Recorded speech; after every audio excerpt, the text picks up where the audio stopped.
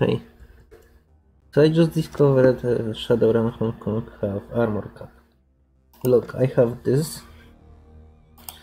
This is my cyberware. It gives 2 armor.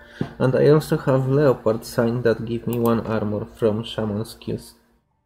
My armor is 10. I should have 11. But yeah. Now we're going to show you what will happen if I dress mythic armor Confirm. My armor is still 10. Honestly, that got me ultra confused.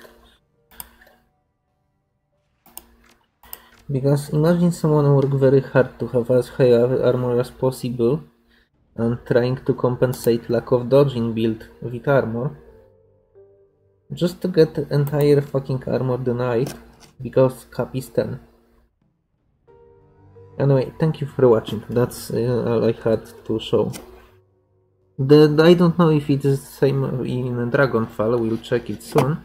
But for Hong Kong, it looks like it's the case.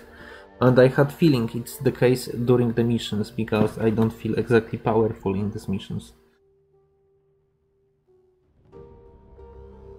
Where I should feel powerful. Also, that was the case also if I undress augmentation and had mythic defense here. You, you have to take my words for it, I cannot arrange it with 1000 gold to strip it and take it back again.